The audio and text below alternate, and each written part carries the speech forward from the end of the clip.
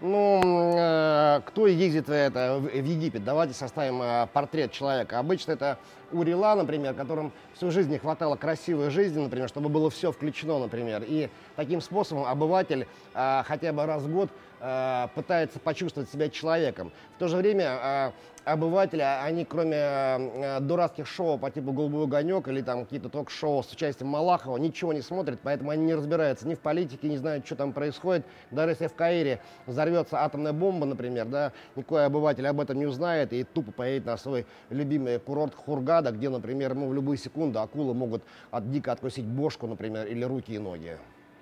Сколько там туристов?